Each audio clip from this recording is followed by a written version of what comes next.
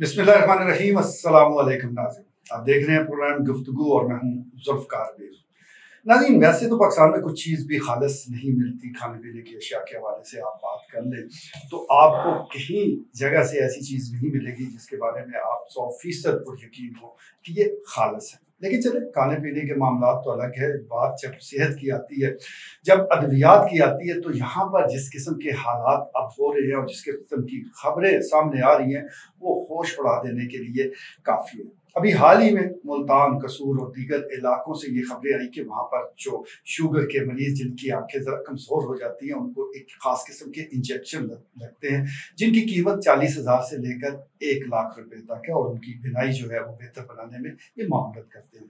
अब ये इंजेक्शन तो बाहर से आते हैं, लेकिन क्या किया जाए? यहाँ पर कुछ माफियाज ऐसे हैं जिनको इस बात की कोई परवाह नहीं कि किसी को कितना नुकसान पहुँच सकता है वो जर कमाने के लिए कुछ भी करने को तैयार हो जाते तो बिल्कुल इसी तरह इस मामले में भी हुआ। जैली इंजेक्शन तैयार किए गए, जिनकी मार्केट की कीमत सिर्फ़ बारह सौ रुपये थी। बारह सौ रुपये में ये मेडिकल स्टोर को फराम किए गए और फिर उन्होंने आगे चालीस, पचास, साठ हज़ार में वो बेचे। अब बात यहीं तक रहती तो चले, कोई बात नहीं। लेकिन बात इससे आगे बढ़ी और जिन लोगों को भी वो इंजेक्शन लगे, वो इतने मुतासर हुए कि बास की बिनाई जो है वो हमेशा हमेशा के लिए चलेगी।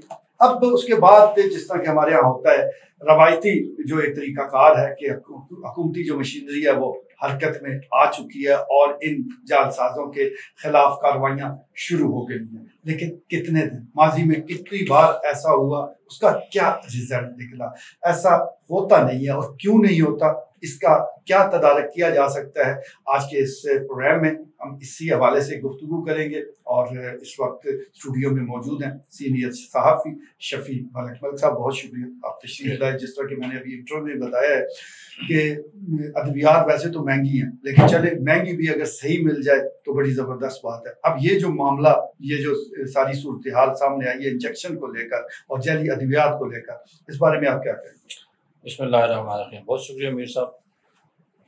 एक हरीश पाक है कि मान गशा समन्ना, कि जिसने भी मिलावट की, वो हम में से नहीं है। और अब मसला मीर साहब ये है कि इस हदीस की रोशनी में अगर हम देखें कि जिसने मिलावट की, वो ये अल्लाह के रसूल वसल्लम का फरमान है कि वो हम में से नहीं है। अच्छा अब खौफ खुदा नाम की तो कोई चीज़ है नहीं कि भाई नहीं है तो ठीक है कोई बात नहीं। बाज़ाहिर हम सारे मुसलमान हैं हम मरने मारने को तैयार हैं। इसके रसूल के अभी आप देखिएगा रबी का महीना है आपको लाइटें और चाइना की लाइटें और पत्नी जलूस और हलवे और डेगे और आशकान रसूल का जमे फिर होगा और सारा काम हो गया लेकिन जो हमें हदीस बताई गई है कि जिसने मिलावट की वो हम में से नहीं है। हम्म। अगर हम कोट करें तो जातें और जो कास्ट हैं वो भी जैली है। जाली मलक जाली चौधरी जाली राजे जाली ख्वाजे पता नहीं कौन सी ना? ये मिलावट आज से नहीं हुई। ये इंडिया के जब हमारे सब कंटेंट जब तकसीम हुआ है सर तो वहाँ से ये शुरू हुआ है कि भाई हमने अब जो अब देखें मुझे बात आपकी मैं उस तरफ़ भी आता हूँ लेकिन मैं उससे पहले कहता हूँ कि क्या इंडिया में सारे के सारे उस पर सगीर में सारे सैयद थे सारे हम्म। शेख थे सारे खाजे थे? हम्म। अच्छा मुझे बताएँ कि वो लोग अपने जूते कहाँ से मरम्मत करवाते थे? वो अपने बाल कहाँ से कटवाते थे? वो हलवाई वो उस मिठाइयों की दुकानें अच्छा वो हलवाई किधर गए वो नाई किधर गए वो मोची किधर गए जो उस वक्त मौजूद है क्या सिर्फ़ सादात ने शेखों ने मलकों ने राजों ने इज़्ज़त की है सब? हम्म। या उसके अलावा भी कोई लोग थे? वो लोग जब वहाँ पहुँचे उन्होंने कहा यार ये चूँकि डिवीज़न आ रही है कि भाई छोटे को जरा कम पाँच मले का मकान मिल रहा है बड़े को जरा दस मले का मकान मिल रहा है किसी कनाल को मिल रहा है। जिसने कहा जी मेरी बात वहाँ पे जागीर थी। मैं नवाब था सरदार था उसको हिसाब से ट्रीट किया जा रहा है। तो वहाँ पे सारे सरदार बन गए। वहाँ पे सारे राज्य बन गए वहाँ सारे महाराजे बन गए सब। तो पहली मिलावट तो हमने वहीं से शुरू कर दी और हमें पता लग, लगा जनाब तब आके के सारे के सारे जितने चौधरी मलक सारे इधर आ गए। अब दूसरी बात मीर साहब जब हमें ये पाकिस्तान मिल गया तो आप देखें कि जो हमारे साथ आज़ाद हुए चाइना की मिसाल है इंडिया की भी अब आप मिसाल देना लोगों ने शुरू कर दी है उसका बांग्लादेश है जो हमारे बहुत बाद में आज़ाद हुआ है अफ़गानिस्तान आप हमारे हमसाए में है पचास साल से वो जंगों में रहा है और आज हालात उसके आप देख रहे हैं हम देख रहे हैं हम कहाँ पे खड़े हमें सर पीने का पानी साफ़, मैसर नहीं है। जो जो आरओ प्लांट लगे हुए हैं, वो भी दो नंबर पानी इस्तेमाल, पैसे लेके भी मतलब कम से कम अगर आप पैसे ले रहे हैं तो कुछ खुदा का खौफ तो कम से कम ये हो कि भाई जब आपने पैसे ले लिए एक चीज़ के, आपने जो कीमत ले ली है, उसके बाद तो आप प्योर चीज़ दें। मैं ये कहता हूँ सर कि वो हम जब पहले बात की अशकान रसूल की यहाँ कोई कमी नहीं है हाजियों की कोई कमी नहीं नवाजियों की कोई कमी नहीं रोजेदारों जक़ात वालों की कोई कमी नहीं है और सदका खराब वालों की भी कोई कमी नहीं है। लेकिन आपको ना लीटर दूध का खालिश मिल रहा है ना आपको जैसे इंजेक्शन एक जान बचाने वाला वो खालिश मिल रहा है ना इंजेक्शन हमारे इसराइल से आ रहे हैं ना दूध हमारे इंडिया से आ रहा है। वो यहीं पर सर हो रहा है और मैंने बताया था कि यहाँ से मेरे तकरीबन अस्सी पचास किलोमीटर दूर मंदरा के मकाम से थोड़ा सा आगे फैक्ट्रियाँ लगी हुई हैं सर उनके पास ठप्पे मौजूद हैं और वो जनाब इम्पोर्टेड बना के हम्म। इससे बड़ा जुल्म ये सब क्या होगा जैसे भी बताया कि सत्तर अस्सी हज़ार रुपये के इंजेक्शन कीमत है हम बारह सौ के इंजेक्शन को चले यार आप चौबीस सौ ले लें हम्म। बारह सौ के दो हज़ार दे दें दो हज़ार चौबीस सौ ले छत्तीस सौ ले लें अब जब बारह सौ का इंजेक्शन आप लगा रहे हैं और किसी की आँख में डायरेक्ट वो इंजेक्ट हो रहा है हम्म। इससे बड़ा जुल्म और जब आप एक डेथ बेड पे मरीज़ पड़ा हुआ है और उसके पास जनाब जब वो जाते हैं डॉक्टर को लिख के देता है कि भाई ये इंजेक्शन इसका लास्ट अब इसकी इसके बगैर एसओएस कंडीशन पे है। हम्म। अब आप ये इंजेक्शन लाएँगे तो ये बचेगा। बंदा दौड़ता है उनसे माँगता है इनसे माँगता मुश्किल से जितने चालीस पचास हज़ार साठ हज़ार को लिया इंजेक्शन लिया जाकर लिया बंदा नहीं सर्वाइव कर सका। क्यों जी? वो दो, दो नंबर था। हम्म। इससे बड़ा जुल्म इससे ये कातिल है सर हम्म। इनको सिर्फ़ मिलावट के चक्कर में ना मैं समझता हूँ कि जो लोग ये ज़रिए मेडिसिन का काम कर रहे हैं हम ईंटों का बरादा हम मिर्चों में ले रहे हैं, हमें कोई मसला नहीं। हम पति में वो जब मिलावट, तंबाकू और पत्ते ले रहे हैं, हमें कोई मसला नहीं। घी हमें जनाब चर्बी वाला मिल रहा है, हमें कोई मसला नहीं। खुदा रहा जो हमारे डेथ बेड पे मरीज़ पड़े हुए हैं। उनके साथ कम से कम थोड़ा सा ठीक है उनको तो ज़िंदा रहने दे वो ज़िंदा रहेंगे तो आपने फिर उन पर हुकूमत भी है। अगर आवाम ही मर गई तो हुकूमत आप किस पर करेंगे? मलिक साहब अभी आपने फैक्ट्रीज की बात की है कि मंदरा के मकाम पर ये फैक्ट्री मौजूद है आपको पता है और लोगों को पता है। तो जो हुकूमती इदारे हैं जिनका काम ही ऐसी ऐसे जालसाजों को पकड़ना है क्या उनके इल्म में नहीं? सब पता ये सबको पता है। हम्म। कोई ऐसी बात नहीं है कि किसी को इल्म नहीं है। आप अगर किसी देखें डॉक्टर्स के पास जब आप जाते हैं वहाँ पे की रिंग वहाँ पे मोबाइल वहाँ पे ग्लासेस वहाँ पे टिश्यू पेपर वहाँ पे पत्नी दुनिया जहान की चीज़ें वहाँ पड़ी हुई हैं। भाई उसका क्या मकसद? है किसी ने कभी जाके पूछा किसी डॉक्टर किसी डॉक्टर साहब आपके एसी लगे हुए इसके ऊपर ब्रांडेड किसी मेडिसिन कंपनी का नाम क्यों लिखा हुआ क्यों दिया गया आपको एसी क्यों दिए गई आपको गाड़ी? इवन गाड़ियाँ तक उम्रे टूअर्स और ये मरी के हाँ जी नारायण का गान की सैरें और ये सारी भाई आपको क्यों करवाई जा रही? अगर आपकी प्रोडक्ट एक नंबर है अगर आपको पता है कि भाई मैंने जो अगर मेरा ये मोबाइल सर इस वक्त साठ हज़ार रुपए का है। और मैंने साठ हज़ार आपको दे, दे, ले लिए तो लेन देन खत्म हो गया सर हम्म। न कि फिर मैं आपको समझ सर आपके साथ मैं आपको ये भी दे रहा हूँ सर इसके साथ मैं आपको ये चीज़ भी दे रहा हूँ इसके साथ मैं आपको चार चीज़ें और दे रहा हूँ इस मीन की इसमें कोई ना कोई प्रॉब्लम है कोई ना कोई फॉल्ट है जो मैं आपको कह रहा हूँ कि सर आप मेहरबानी करें ये सारी साथ रखें और भाई, ये मुझे समझ ही नहीं आती कि कुछ खुदा का खौफ करें, ये चीज़ें हटा दें, सब कुछ हटा दें, इसको इतना मेच्योर कर दें, ताकि आपको ये ज़रूरत ना पड़े इस दो नंबरी की,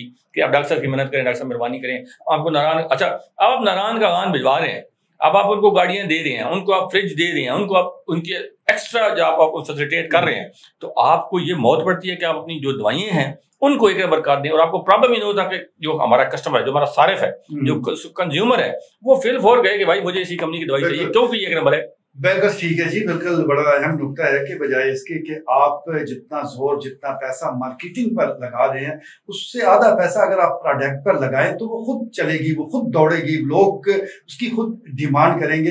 लेकिन क्या किया जाए, कुछ ट्रेंड ही ऐसा बन रहा है। मलिक साहब, जिस तरह हमने जाली अद्वियात की बात की, अभी इंजेक्शन का मैंने ज़िक्र किया जो ड्रैप इदारा है, जो इस सारी चीज़ों को मॉनिटर करता है। अभी हाल में एक और एडवाइजरी उसकी तरफ़ से आई है कि वन जो बैच है, ये कोई बुखार की दवाई है। वो गैर मैारी है और उसको ना खरीदा जाए। अब ये एक एडवाइजरी आ गई मीडिया के ज़रिए किसी को ये बात पहुंचेगी किसी को नहीं पहुंचेगी दूर दराज इलाकों में मेडिकल स्टोर है शायद मेडिकल स्टोर वालों को भी ना पता चले। इस दौरान अगर किसी ने वो दवा पी ली खुदा न खासा उसकी सेहत को नुकसान हो गया तो फिर कौन जिम्मेदार है? और जिन्होंने ये गैर मैारी दवा तैयार की है उनको क्या सजा मिले साहब एक मार्स कंपनी है चॉकलेट बनाती है। हम्म। और न्यू जर्सी में उसका ऑफ़िस है। 2016 में एक खातून वहाँ पे एक चॉकलेट खरीदती है। और उसके वो जब वो चॉकलेट का वो उसको लेती है बाइट जब उसको लेती है तो उसके मुँह में एक रैपर आता है एक कागज़ का टुकड़ा।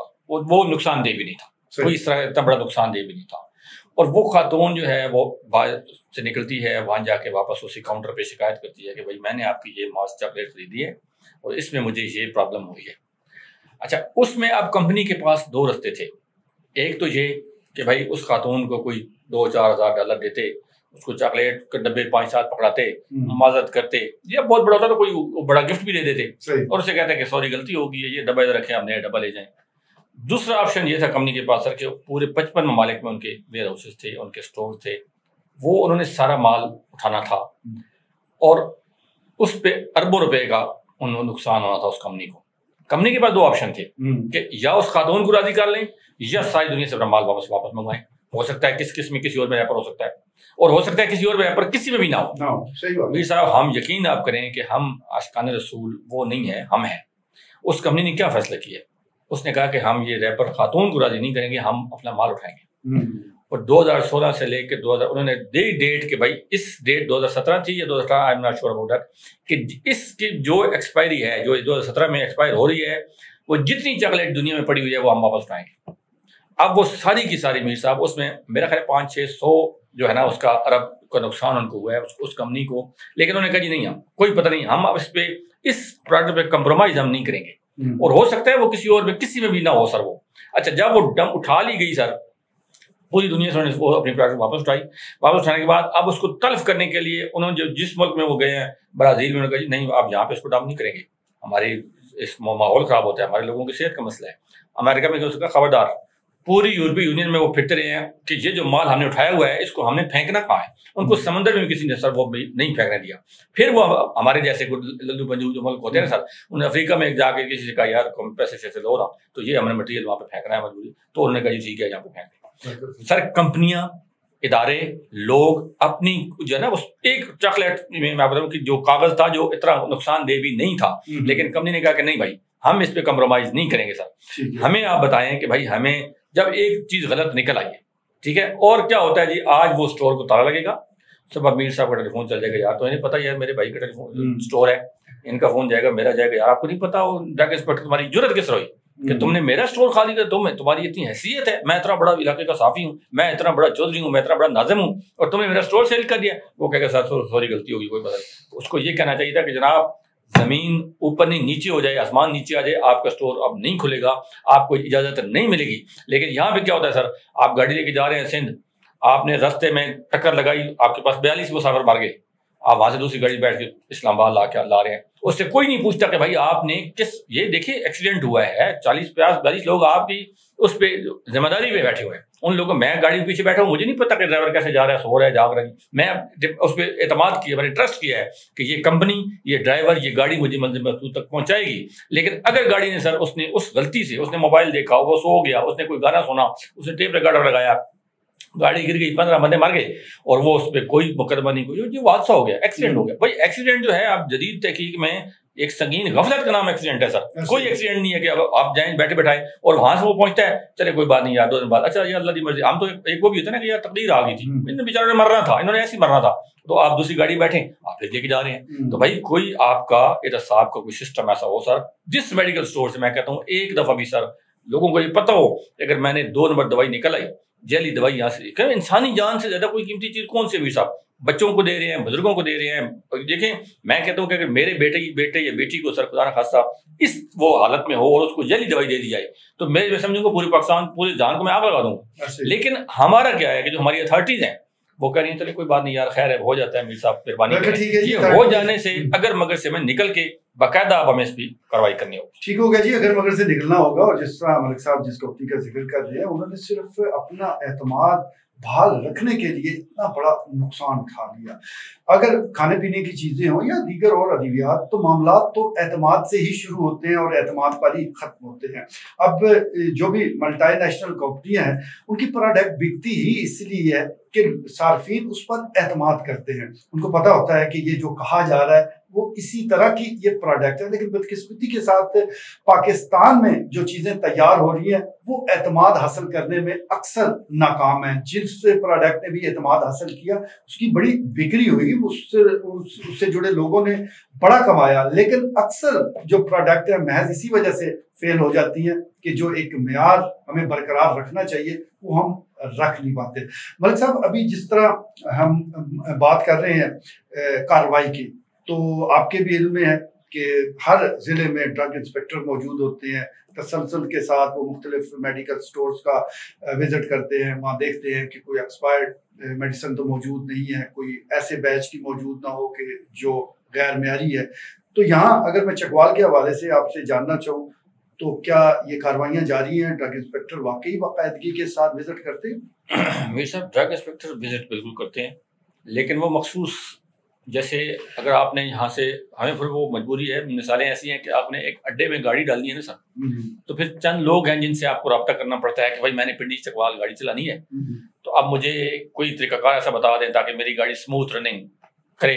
अगर पंद्रह सवारी आपके पास उसमें आप बिठा सकते हैं। आपने अठारह उन्नीस बिठानी है लेकिन कुछ दो चार बंदे ऐसे होंगे जिनके साथ आपने रबता रबता करना है। हम्म। वो आपसे एक मंथली फ़ीस मुकर कर लेंगे कि मीर साहब आपने ये पाँच हज़ार चार रुपये आप हर महीने दे देने हैं। उसके बाद आप ऊपर छत पे बिठाएँ अंदर बिठाएँ वो हम अंधे हैं। कानून फिर अंधा हो जाता है। उसको नज़र नहीं आ रहा था कि इस गाड़ी में पंद्रह बंदे बैठे थे अब इसमें बीस बैठे हुए हैं पच्चीस बैठे हुए हैं कोई टेंशन नहीं है। और वो सेम यही कुछ हो रहा है आप ड्रग इंस्पेक्टर साहब जाते हैं उन्होंने दो तीन चार पॉइंट रखे हैं हर शहर में। उसमें वो एक मैं अब नाम नहीं किसी का लेता एक मेन मेन जगह पे बड़े स्टोर बने हुए हैं। उनके बाद जाकर बैठ जाते हैं। गपशप लगाई, खाया, पिया, दिन गुजारा आराम से। और फिर अपना जो उनका तरतीब होती है, वो इकट्ठी की और इकट्ठी करके वापस आ गए। किसी स्टोर को भी जाके ये नहीं चेक किया जाता कि भाई आपकी जो मेडिसिन है, ये कहाँ से आई है, किसने किसने आपको दी है इन्वाइसिंग इसकी किधर है, इसके बिल किधर है बिल ऑफ़ एंट्री किधर है कितनी आई है, कितनी गई है एक्सपायरी अब देखें, वो फ़ूड अथॉरिटी ने कुछ शुरू किया था, पिछले कुछ कुछ दिनों ने शुरू किया था कि जी आप हर बेकरी पे, हर खाने पीने की दुकान पे जाएँगे और आप लगाएँगे कि चार दिन के अंदर ज़्यादा ब्रेड नहीं रख सकते। असूलन ये है कि चार दिन के बाद ब्रेड जो है वो खाने का नहीं रहती। लेकिन फिर आहिस्ता आहिस्ता ऐसा लोगों ने उनको भी अपने अपने रंग में ढाल लिया है कि यार मेहरबानी करो, अब इस तरह तो हमारा काम चलने वाला नहीं है पाकिस्तान में। जो आप लेके यहाँ पे चलाना चाह रहे हैं ये ये पॉसिबल नहीं है। हमने किचन भी दिखाना कुछ है, रखना पीछे कुछ है। गंदे किचन गंदे उसमें जो मटेरियल है, सारा कुछ, वो वो चल रहा है। लेकिन अब जो ड्रग इंस्पेक्टर साहब है, देखिए, मैं ये सब कहता हूँ कि किसी सूरत में स्टोर ये तो नहीं, अब अगर आप ये कहते हैं कि भाई लोगों की बिनाई की जाने की खबरें आ रही हैं लोगों की दो नंबर दवाइयों की वजह से लोग सर्वाइवर भी लोगों का मुश्किल हो चुका है। अच्छा लोकल मार्केट से दवाई आके उसके ऊपर सेमी फार्मा एंडस फार्मा और पता नहीं कौन कौन उसके इंटरनेशनल फार्मों के ठप्पे लग रहे हैं। तो फिर जो ड्रग इंस्पेक्टर हैं फिर आप खुद सोचें कि वो क्या काम करें क्या उनका उन, उनका तरीकाकार है कैसा काम उनका होना चाहिए। मुझे बताएँ कितने ऐसे स्टोर हैं जो उन्होंने सील किए हैं या वो बता सकते हैं कि भाई मैंने इतनी रिकवरी करके गवर्नमेंट डाली और ये स्टोर को मैंने इसको ये कह दिया है कि भाई अब आपको और आप ये ये काम ना करें कसाइयों वाला जो आप काम करें फिर प्रॉपर कसाइयों वाला काम करें। ये आप जो जो कुछ आप कर रहे हैं कि आप दो हज़ार की दवाई पच्चीस हज़ार की बेच रहे हैं या पच्चीस हज़ार की दवाई आप डेढ़ लाख की बेच रहे हैं तो वो कसाइयों वाला जो काम है फिर आप वो काम करें जो बुचर काम कर रहे हैं ये स्टोर वाला काम छोड़ दें। मुझे बताएँ कोई ऐसा स्टोर पूरे मुझे डिस्ट्रिक्ट में दिखा दें जितने हमारे लोग सुन रहे हैं कि कोई एक स्टोर या हमेशा बंद कर दिया है इसको कि भाई अब आप बैन है इस, इस कारोबार के लिए अब आप ये कारोबार नहीं करेंगे। मसला मेरे साहब ये है कि आज छापा लगता है स्टोर बंद होता है दो दिन बाद जनाब मामला तय होते हैं और वही दवाई वही पैसे। आप यकीन करें मैं आप हैरान हूँ ना कि जब पूरे पूरे अथॉरिटी वाले आए हैं उन्होंने तीन हज़ार जुर्माना कर दिया है। भाई जो बंदा जैली जिसमें मिलावट शुदा दूध बेच रहा है उसको तीन तीन हज़ार वो दो घंटे पूरे कर दे भाई आप उसको बैन कर दें बंद कर दें। अगर ये सर बंद करेंगे तो ये मसला हल होगा वरना खाली कार्रवाइयों से मेरा नहीं ख्याल ठीक है जी खाली खुली कार्रवाइयों से ये मामला हल होने वाले नहीं है महज से कानून साजी वो मसले का हल नहीं है बल्कि कानून पर अमल दरामद जब तक नहीं होगा और ऐसे लोग जो कि इंसानी जानों के साथ खेल रहे हैं ये सीधी सी बात है सीधा सीधा ये कत्ल है। भले आप तीन सौ दो की दफात इन पर ना लगाए लेकिन ऊपर एक अदालत मौजूद है ऊपर एक मुनसफ वो बैठा हुआ है कि जिसकी अदालत में ये बिल्कुल तीन सौ दो है कि जब आप दानिस्ता तौर पर ऐसी चीज़ें तैयार कर रहे हैं ऐसे प्रोडक्ट तैयार कर रहे हैं, जिससे इंसानी जान जा सकती है। तो और कत्ल कहा किसे जाता है? यही बस आप हथियार अलग कर का कह सकते हैं कि इसको फायरिंग करके कत्ल किया गया, इसको जैली अद्वियात दे के मारा गया। बात वही है। मलिक साहब, देखा यही गया है कि जब भी कोई वबा आ जाए कोई ख़ास बीमारी वो ज़्यादा हो जाए तो फिर ही अद्वियात बड़ी ज़्यादा बिकती हैं। अब जैसा कि अशूब चशम है, ये भी ज़िला चकवाल में बिल्कुल दस्तक दे रही है, इब्तदा इसकी हो चुकी है, मुख्तलिफ़ अजला में तो ये बड़े अरूज पर है। इसी तरह डेंगू भी किसी न किसी सूरत में वो बढ़ता जा रहा है। तो एक तरफ़ तो अशूब चशम यानी आँखों की बीमारी है वो उसकी वबा है। और दूसरी तरफ़ हमें खबरें ये आ रही हैं कि आँखों की अद्वियात वो इतनी जाली हैं तो ये जो मरीज़ है जिनकी खुदा ना खास्ता आँखें खराब होंगी फिर ये कहाँ जाएँगे? कौन सी दवा इस्तेमाल करेंगे? साहब बात यह है कि एक तो हमें थोड़ा सा खुद भी लोगों को ख्याल करना चाहिए। आँख की जो बीमारी है वो कितनी बड़ी प्रॉब्लम नहीं है। आठ दिनों में ये खत्म हो जाती है खुद बहुत ठीक हो जाती है।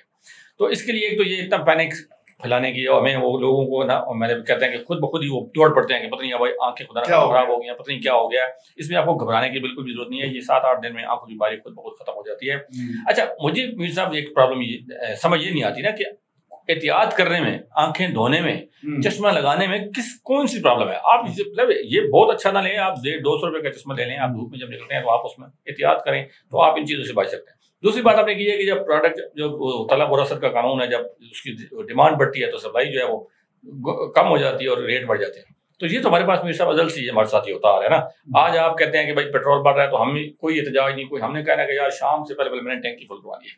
कल पता नहीं मुझे मिलेगा, नहीं मिलेगा, मैं आज जरा जो है ना। अच्छा अब जिसको ये कतरे नहीं चाहिए, वो भी भाग दौड़ भी शुरू हो गया कि भाई मैं पहले से ना वो दो तीन ड्राप ढूंढ लूँ क्योंकि कल बीमारी आने वाली है। और भाई, इतनी बेमानी है, इतनी इमरजेंसी कोई नहीं होने वाली। खुदा ना खासा को क्या मत नहीं आ रही कि भाई आप आप आज से ही शुरू हो गए हैं कि भाई अच्छा अब हर बंदा उससे तलाश लग गया है कि भाई वो ड्राफ्ट जो है, वो मुझे क्लोरोफिल जो भी उसका नाम है, वो मुझे, वो ड्राफ मैंने इकट्ठे करने मैंने घर में रखना है। अब हर बंदे को वो ज़रूरत नहीं है सर जिन लोगों को बीमारी है जिनको प्रॉब्लम है वो बेशक उसमें वो करें। लेकिन अब हर बंदा जब शुरू हो गया कि भाई मुझे ड्राप चाहिए घर के चार फर्द हैं चार ड्राप आपने ढूँढने हैं तो जब आप ये कुछ करेंगे तो मेडिकल स्टोर पे वो शार्टेज हो जाएगी। शार्टेज होगी तो बजाय जहाँ पे जब हेलमेट का ऑर्डर आता है हेलमेट शार्ट हो जाते हैं आप अब मेडिकल दवाइयों की बात कर रहे हैं यहाँ पे आप एक कंटेनर मंगवाते हैं दो कंटेनर तीन कंटेनर हेलमेट के मंगवा लिए दस पंद्रह बीस हज़ार फिर जनाब हमने डीएसपी साहब एसपी साहब या ऊपर थोड़ी सी अप्रोच कर ली आईजी साहब को डी साहब को सर। मेहरबानी करें एक आर्डर पास करें। उन्होंने आर्डर पास किया मेरे हेलमेट सारे के सारे बिक गए। उसके बाद मैं भी सुकून में हूँ वो भी सुकून मैं ठीक है जी दोनों घर राज़ी है और ये फार्मूला पाकिस्तान में बड़ा ज़बरदस्त बिकता भी है चलता भी है कि दोनों घर राज़ी हो जाए और जहाँ तक चीज़ें बिकने का ताल्लुक है जिस तरह कोरोना आया तो हमने देखा कि आम मास्क जो पाँच दस रुपए में मिल जाता था उसकी कीमत अचानक बढ़ना शुरू हो गई। हैंड वॉच जिसका नाम भी किसी को नहीं पता था अब नायाब हो गए बिल्कुल। और ऐसे ही सूरत हाल वो बनती नज़र आ रही है तो कोई भी वबा आए तो इसमें इतनी ना खुद पैनिक होने की ज़रूरत है। ये चीज़ें वक्त के साथ साथ अपना जो हल है, वो खुद ही निकाल लेती है कुदरत की तरफ़ से। ये सारे मामला चलते रहते हैं। मलिक साहब, इलाज की बात हो रही है। एक तरफ़ तो हम जैली अद्वियात का ज़िक्र कर रहे हैं। तो हमारी मार्केट में जिस तरह चकवाल है, यहाँ पर जैली मालज भी बड़े फैले हुए हैं। अताई हर जगह मौजूद है। इसमें भी दो किस्म के मौकफ सामने आते हैं। एक तबका तो कहता है कि ये हमारे लिए तो भाई नेमत की बात है, क्योंकि इस महँगाई के दौर में अगर हम किसी M B B S doctor के पास जाते हैं तो आम बुखार का भी दो हज़ार पच्चीस सौ रुपये खर्चा करवा देता है। यहाँ हमें सौ पचास में दवाई मिल जाती है। लेकिन दूसरी तरफ़ सबसे बड़ी शिकायत ये है कि ऐसे कई लोग मौजूद हैं जिन्होंने इंजेक्शन लगाया और इंसानी जान चली गई। तो ये सारी जो सूरत जैली अद्वियात से जैली मॉलेज तक इसको आप कैसे देखते हैं? देखिए मीर साहब ये भी फेलियर तो वो इंतजामिया का आता है कि भाई प्रैक्टिस वही बंदा करे जो प्रॉपर उसका एल है। इसमें तो कोई दो रहा है। दूसरी बात मीर साहब यह है कि इलाज बिल गजा भी एक चीज़ है ना। हमें हम्म। मतलब हमारे बड़े बूढ़े जब अगर हमसे जो पहले लोग थे हमारे वालदेन जो उनसे बड़े तो वो डॉक्टर में कभी शादो नज़र ही होता था कि डॉक्टर के पास जा रहे हैं। अच्छा एक तो अपनी डाइट का भी लोग ख्याल नहीं करते। उठने बैठने भागने दौड़ने सोने जोगने। हर हर चीज़ में हम बेहतियाती बहुत ज़्यादा ऐसा लाइफ स्टाइल लाइफ स्टाइल ऐसा हो गया कि उसको हमने थोड़ा सा तो अगर हम थोड़ा थोड़ा सा मतलब वो कहते हैं ना कम खाना कम सोना कम बोलना हम्म। वो तीनों चीज़ें हम तो खैर बोलने का टाइम है तो बोल रहे हैं। लेकिन वो कहते हैं कि कम सोना इबादत कम खाना से है तो कम बोलना एक हम्म। ये भी है एक माकूला है। तो कम खाना जो है सर वो वो बेसिक चीज़ ये है कि आप खाना जो है वो इतदाल रखें हम्म। और दूसरी बात में सब ये है कि छोटी मोटी जो बीमारियाँ हैं उसके लिए मतलब सर दर्द है किसी को बुखार हो गया किसी को वॉमिट इसके लिए आपको भागने की ज़रूरत नहीं हम्म। मैं तो ये समझता हूँ कि इसको आप घर में ही किसी ना जो देसी टोटके छोटके मौजूद होते हैं आप देखें ना वो तिब नबी की किताब ले लें हम्म। ये छोटी बीमारियाँ अच्छा अल्लाह माफ़ करे किसी को बड़ी को प्रॉब्लम को टीबी हो गई कैंसर हो गया कोई प्रॉब्लम हो लंग का कुछ हो गया वो तो आपने डॉक्टर के पास जाना है लेकिन हमने जो ट्रेंड सर बना दिया ना इस वक्त आप देखें अगर आप सुबह हॉस्पिटल में चले जाएँ तो तीन हज़ार पैंतीस सौ बंदा आपको वहाँ पर रश खच खच भरा होगा। क्या जी बच्चे को रात को नींद नहीं आई? बच्चे ने कुछ खाना नहीं खाया बच्चे आज उठा नहीं है सही वो चलता नहीं। मतलब इस किस्म के जो मामला हैं सर वो खाम खा के भी है ना। हम्म। आप जो ज़रूरत है आप जब देखते हैं कि प्रॉब्लम बाकी सॉल्व नहीं हो रही उसके बाद आप ज़रूर डॉक्टर के पास जाए। लेकिन हमने अभी उसने छींक बच्चे ने मारी नहीं है। हम्म। हमने भाग पड़े ना वो जो नए हमारे माँ वालदेन हैं जो मम्मी डैडी कल्चर आ गए वो तो एक मिनट लगाते हैं कि रात को भी उठ के डॉक्टर के पास डॉक्टर साहब मेहरबानी अच्छा अब जो दूसरी तरफ़ है कि वो जी अताई वाला जो आपने बताया है तो ये चूँकि लोगों को भाई अब हालात ऐसे हो गए हैं कि लोगों को खाने के दो वक्त उसमें लाले पड़े हुए हैं बिजली के बिल और महँगाई उस वजह से। उसमें जो गली महल्ले में जो बैठे हुए हैं लोग वो छोटी मोटी वो कहते हैं यार यहीं से गोल गोली टीका ले लें। लेकिन ये बड़ी जाती है कि उनसे उनको कम से कम इसकी इजाज़त बिल्कुल नहीं होनी चाहिए कि भाई वो किसी को इंजेक्शन लगाएँ किसी को वो नुस्खे लिख के दें। थोड़ा बहुत बेशक वो अगर उनकी गवर्नमेंट को ये भी चाहिए कि उनको किसी कोई कोर्स करवा दे। जैसे आपके डॉक्टर के साथ एक उसका हेल्पर होता है पैरामेडिकल स्टाफ होता है तो वो नर्सेज वो कर रही हैं। आप उनको किसी कोई कोर्स करवा रहे हैं। अगर आप इनको बंद नहीं कर सकते मैं कि बहुत बड़े लोग तादाद में बैठे हुए हैं और आप इनको बंद नहीं कर सकते तो फिर आप इनको चीज़ एक इनका छः महीने का, साल का कोई ऐसा कोर्स इनको करवा दें ताकि ये किसी को ड्रिप लगा सकें, किसी को उतार सकें और कुछ छोटी मोटी जो दवाइयाँ वो दे सकें। लेकिन बहरहाल ये जो काम है, ये डॉक्टर के ऐसा बिल्कुल ठीक है जी, मलिक साहब, बहुत शुक्रिया आप तशरीफ़ लाए नाजीन, आपने गुफ्तु सुनी इस प्रोग्राम के में इस मौजू पर गुफ्तु करने का। मकसद भी यही था कि ये सारी सूरत हाल जो कि पहले भी आपके काफ़ी इल्म है ये आपके सामने लाई जाए और उसमें ख़ासतौर पर जो अद्वियात के इस्तेमाल के हवाले से हमने बात की, ये बड़ा अहम नुकता है। देखा ये यह है कि यहाँ पर जो अद्वियात का इस्तेमाल है, वो बहुत ज़्यादा है।